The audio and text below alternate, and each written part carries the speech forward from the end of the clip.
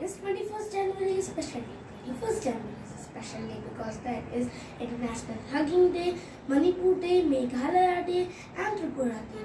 On this day they got state status from Union Territory. Whose birthdays are there on 21st January?